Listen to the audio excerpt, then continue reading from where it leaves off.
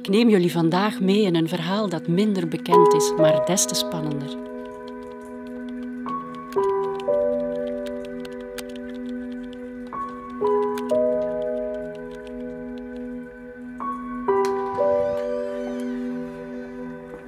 Wie het hier wat kent, weet al waar we naartoe gaan.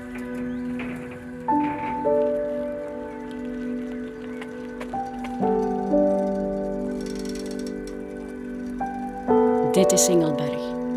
Nu is het niet meer dan een heuveltje in de Beverse polder, maar vroeger stond hier het imposante kasteel van Beveren, een waterburcht zoals er weinig waren in de wijde omstreken.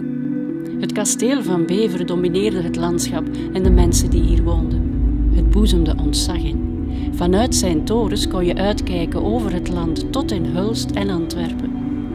Het is in en rond deze burcht dat het verhaal zich afspeelt dat ik jullie wil vertellen. Het gaat over een van de bouwvakkers van Singelberg en van zijn geliefde, die er alles voor over had om haar man te redden.